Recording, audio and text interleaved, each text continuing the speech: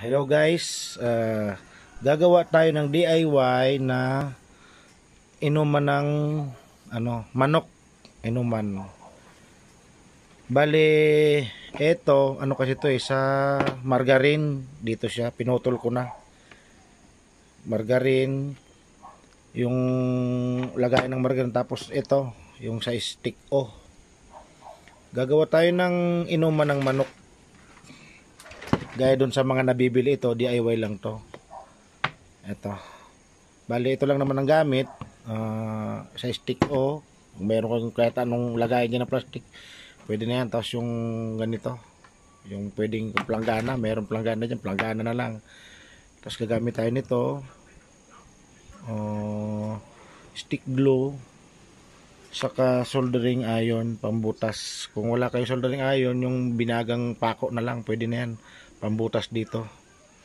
Yan pambutas dyan. Gasgasan muna natin to para ano dumikit yung stick glue natin. Tsaka itong puwet nitong uh, itong takip nitong stick glue para dumikit yung stick glue para di sa basta matanggal pagka magtatanggal ka ng takip pag magre-refill ng tubig Ayan.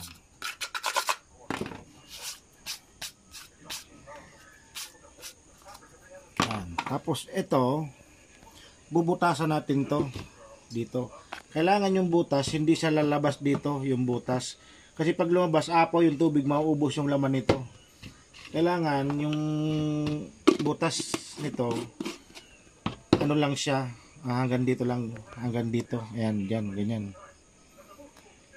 Para hindi apaw yung tubig ito bubutasan natin ulit para marami siyang butas.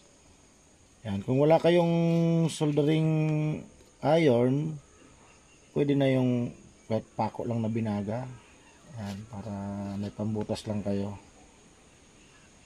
Ito si kikong kalikot kasi mahilig to magkakalikot ng ano kahit na ano lang basta pwedeng kalikutin kinakalikot. Yan. Ngayon tanggalin natin yung ano niya para malinis yung uh, sobra niya. Yan.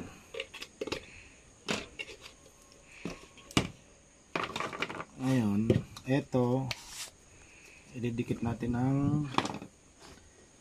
stick glue para mainit na. Ah, mainit na siya. Kasi malamig kasi yung panahon kaya mabilis lumamig yung ano, stick glue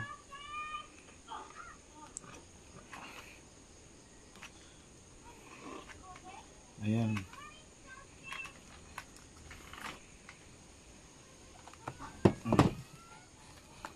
Yan didikit natin siya dyan para di siya nagagalaw Ayan. Malamig na yata. Tapos, ito yung lalagyan nyo ng tubig. Susubukan natin. Ano natin, ito na yung tubig. Ay, yung lagayan, nilagyan ko ng tubig. Susubukan natin ngayon kung hindi ba aapaw yung tubig doon sa inuman. Dapat na. Ayan. Ayan. Hindi natin kung hihinto yung tubig niya. Hanggang saan. Puta, aapaw yata.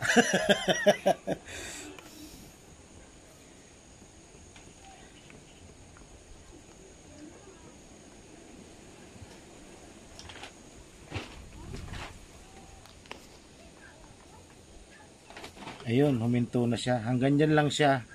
Ano kunting kunti lang siya oh. Bago mapuno. Ayan sakto lang siya. Ngayon pag uminom yung ano pato manok bababa na naman yung tubig niya hanggang sa maubos yung laman nito. Thank you. Don't forget to subscribe like and share